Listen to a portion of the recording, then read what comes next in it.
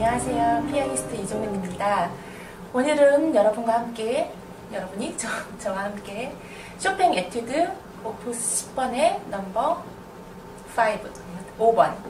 흑건으로 유명한 곡이죠. 항상 오른손이 검정, 검은색 건반을 치기 때문에 흑건으로 알려진 곡인데요. 이 곡의 포인트는 오른손은 쉬지 않고 계속 빨리 움직여야 되고 검은 건반 위에서 왼손이 어, 멜로디 역할을 하죠. 멜로디이면서 리듬적인 부분을 맡고 있기 때문에 그런 오른손이 빠른 음표를 힘들리지 않고 쉽게 치, 면서 동시에 왼손이 잘 나타나게끔 표현하는 것이 이 곡의 관건입니다. 그러면 여러분과 함께 제가 한번 같이 곡을 짚어볼게요. 네, 제가 방금 전에 말씀드린 것처럼 오른손이 빠르면서도 힘들이지 않 게끔 치는 방법을 제가 일단 보여드릴게요. 연습하는 방법이 일단 이게 보시면 알겠지만 오른손이 제대로 치는 곳이 한 군데도 없죠. 처음부터 끝까지. 비록 빨리 치면 짧은 곡이지만 치다 보면 팔에 힘이 들어가게 돼 있어요. 그렇기 때문에 치면서 팔에 힘이 안 들어가게끔 하는 게 중요하고요. 연습을 하실 때 일단 처음에는 천, 조금 천천히 한마디 단위로 연습을 하세요. 제가 거기 아, 지상 레슨 노트에 제가 체크해드린 대로 보면은 한 마디씩 제가 이렇게 선을 그어놨고 그 위로 두 마디 다시 두 마디를 또 연결한 게 있는데 그 처음에 여기까지 한번 그리고 한 마디를 치고 그 다음 마디 첫 음까지 한 번에 가는 거예요. 그거를 한음 한음은 손가락으로 잘 눌러주지만 한 마디를 한 팔로 치는 게 중요하거든요.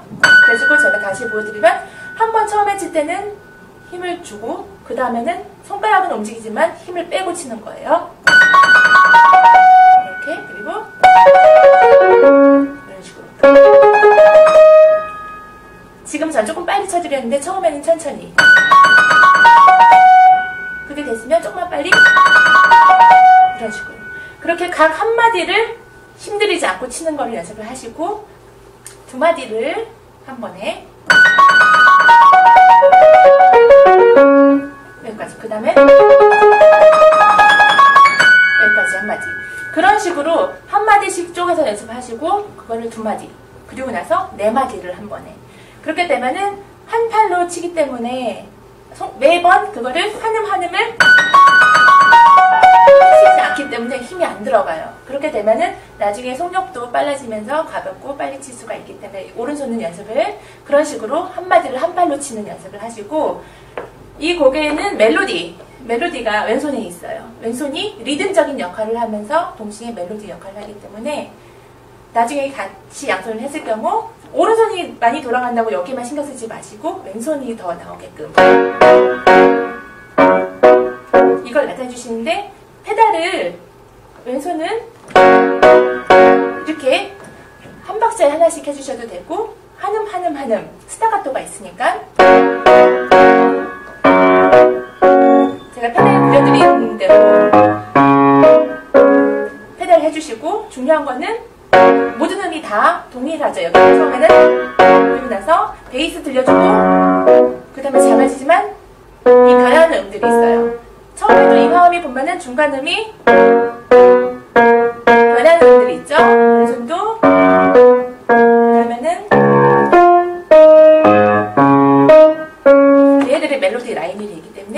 살려주시면 돼요. 그리고 중간에 이렇게 아르페지오가 나올 때가 있죠. 왼손이 여기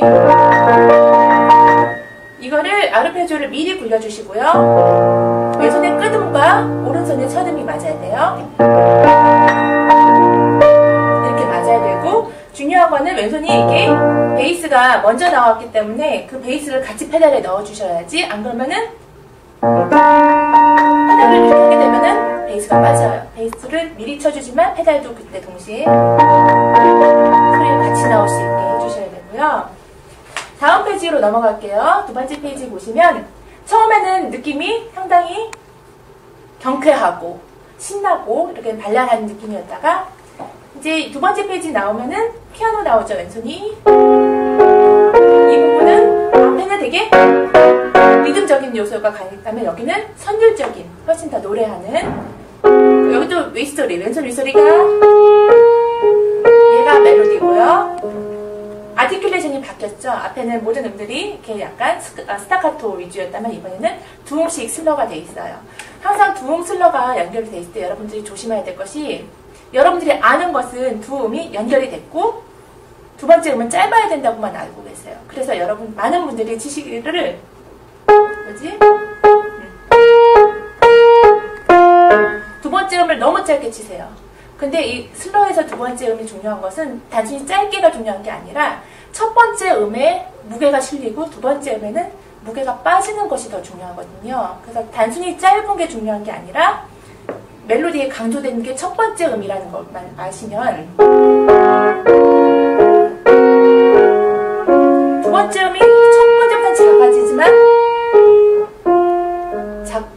끊어지지만 너무 짧고 강하면 안 돼요. 그래서 노래가 부드럽게.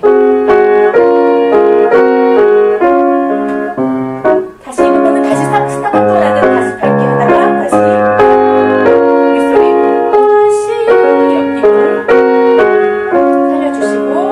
그 다음에는 오른손이 계속 똑같은 패턴이 나오는데 다 똑같이 모든 음이 다 중요한 게 아니라 아래 위 변하는 음 실로폰 소리가 될 수도 있고 별이 반짝거리는 소리처럼 밝게. 이 소리.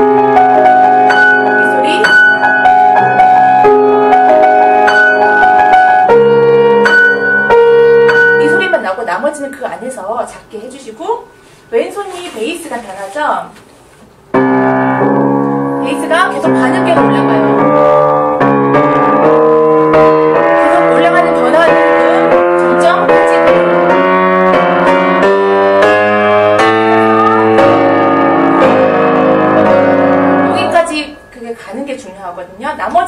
중간에 이거 너무 다 크게 들릴 필요가 없어요.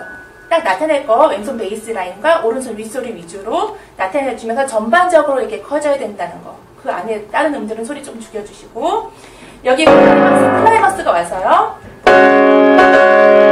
왼손이 상당히 캐릭터가 강해야 돼요. 이제 그 빵빠레가 뻥뻥뻥 하는 것처럼 넓고 웅장하게 했다가 다시 이제 왼손, 왼손이 윗소리가 노래해요.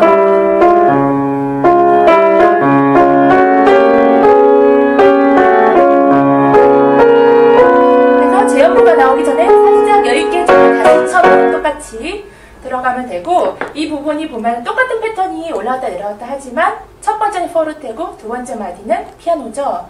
그거 지켜서 치신 분들이 많지는 않더라고요. 근데 그거 잘 지켜주시면 훨씬 곡이 다양해지고 소리가 조금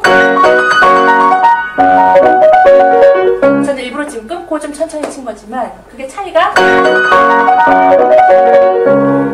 빠른 안에서 빠른 템포 안에서는 사실 저희가 많이 멈출 수는 없지만 생각을 완전히 똑같이만 가는 게 아니라는 것 정도는 여러분들이 아시고 조금 표현을 해주시면 더 곡이 발랄해지고 좀 생기가 생기거든요.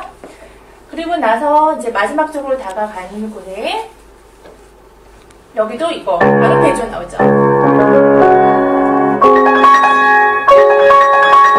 얘도 미리 해서 마지막 음에 왼손 마지막 아르페지오 음과 오른손이 맞게끔 천천히 내려오고 그러고 나서 왼손이 다시 또 여기 노래하죠. 윗소리 그리고 또 두 음 사이 슬러. 얘도 너무 짧지 않게 되지 않게 부드럽게 그리고 다시 연결을 해주고 또 두음 사이 페달을 페달이 표시가 돼 있다고 해서 첫 음만 해주고 두 번째 음 바로 떼지 마시고 두 번째 음을 치고 나서 페달을 천천히 떼주고 보시면 음과 음 사이 공간은 생기지만 너무 짧지는 않게 되거든요. 여기 다시 아르페지오 나올 때 왼손 베이스 페달 미리 밟아주시고 마지막 음에 맞춰서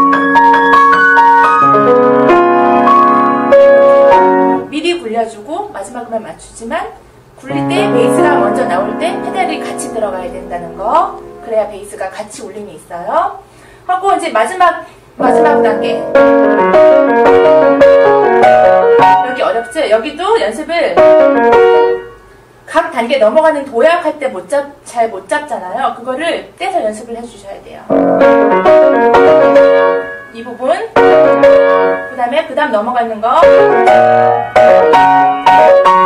이 하나하나 패턴들이 정확히 자리가 잡혔을 때 전체 연결을 해주셔서 바로 바로 손이 탁탁 자리에 잡을 수 있게 이렇게 올라가게 해주시고 마지막에 나오는 옥타브 옥타브 어, 스타카토가 있는데 이것도 너무 다 한음 한음 한음 막 이렇게